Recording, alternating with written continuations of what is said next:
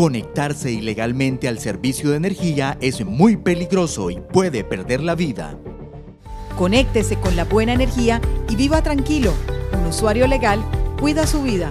Un usuario legal cuida su familia. SEMS Grupo EPM, Vigilada Superservicios.